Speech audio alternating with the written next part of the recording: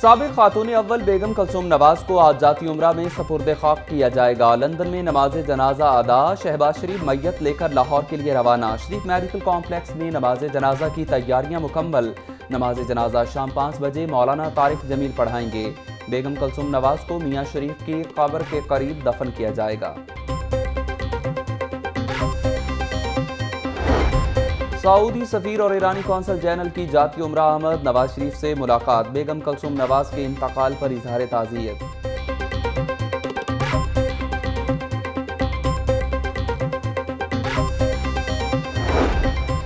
تعزیت کے لیے آنے والے کارکنان سے نواز شریف سے ملاقات بدنظمی کا شکار ہو گئی۔ ملاقات کے دوران کارکنان کی نعرے بازی، دھکم پیل۔ احسن اقبال کارکنان کو پیچھے ہٹنے کی اپیل کرتے رہے۔ میاں نواز شریف دس منٹ کارکنان میں رہنے کے بعد واپس روانہ۔ حمزہ شہباز شریف سے بھی اہم سیاسی رہنماؤں کی تعزیت کے لیے ملاقات۔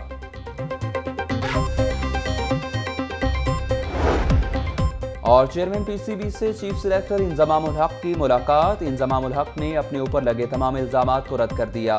بتایا کہ بیٹے کی جونیئر ٹیم میں سفارش کے الزامات بے بنیاد ہیں۔ احسان مانی کا اطمینان کا اظہار۔